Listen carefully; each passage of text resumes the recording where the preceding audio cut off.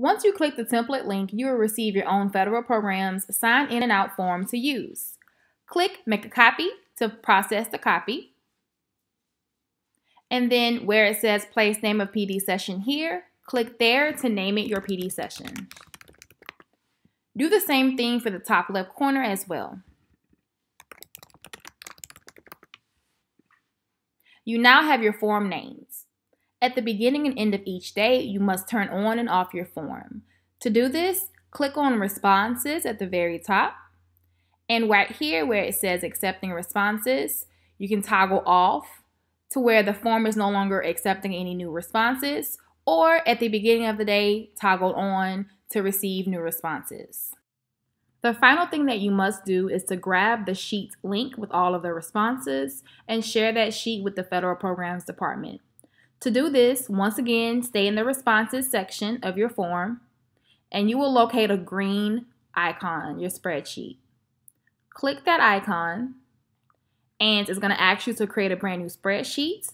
Keep it on that and then click create.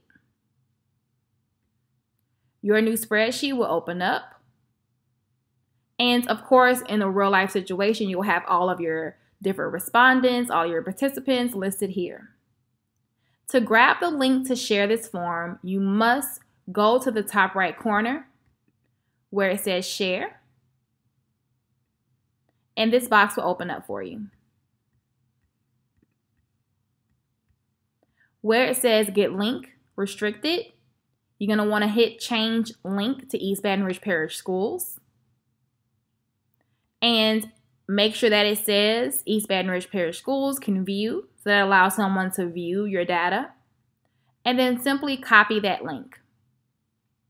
Then, using the form provided to you from federal programs, come to the submittal form and complete the required information.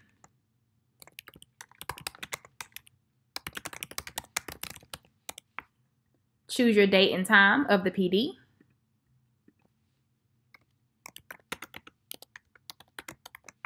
And then in the last area, copy and paste that link to your spreadsheet.